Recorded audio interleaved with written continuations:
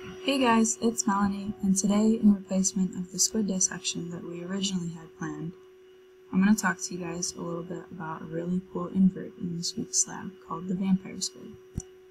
So the vampire squid, or Vampyroteuthis infernalis, is a small cephalopod in the order Vampyromorpha in family Vampyroteuthidae. It was first described in 1903 by teuthologist Carl Chun as a type of octopus, teuthology being the study of cephalopods, by the way. So despite its common name, it's not actually a true squid, nor is it an octopus like Chun previously described, but it is similar anatomically to both. It is the only known living member in its order. Parasites, usually in deep water between 600 to 1,000 meters down, where there's very little oxygen saturation, less than about 5%, and no visible light penetrates the water whatsoever. It is a relatively small cephalopod, only about 15 centimeters long, but some females are known to grow as long as 40 centimeters. And it lives longer than most squids. Scientists think the adult stage is only around 8 years, so its entire life stage would be more than 8 years, compared to some smaller uh, cephalopods can range between maybe only 1 to 2 years. So the three parts of the squid's body form, mantle, head, and arms are popping up here for you. These other aspects of the squid's body plan, so photophores, fins, web, photoreceptors, eye, and olfactory organ.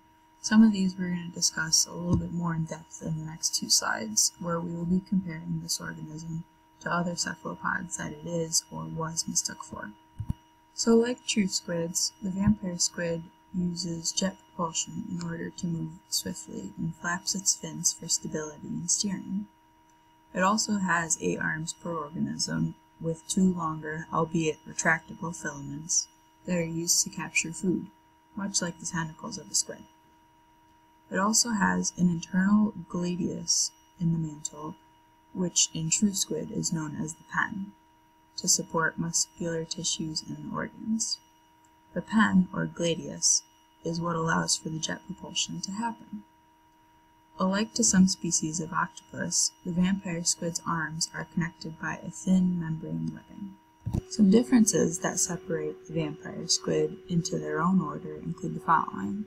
So their eight limbs are lined with cirri, or cirri, however you pronounce it, unlike the suction cups of, say, an octopus. Of all the deep-sea cephalopods, their metabolic rate is the lowest, but their hemocyanin, or their blue blood, is able to transport oxygen way more efficiently than in other cephalopods. This is aided by the gills that they have. They just take up a larger surface area of the organism. They also possess photophores, which are organs that look like small white discs all over the squid's body that are capable of generating light intensity. This can create an effect of bioluminescence that is mainly used to confuse predators. The photophores are larger and more complex at the tips of the arms and the base of the two fins. As you can see in the bottom right picture, you can see them on the tips of the arms. There are two white areas on top of the head, which initially were believed to be photophores, but are now identified as photoreceptors. Their chromatophores, which are used for color production, also differ from other cephalopods as they are not entirely developed like the others. So vampire squids cannot easily change color for camouflage or courtship purposes. Although it's not too big of a problem since at the depths that they're at, color recognition for visible light is not very necessary. So yeah, that's basically the gist of my presentation. Thanks for tuning in.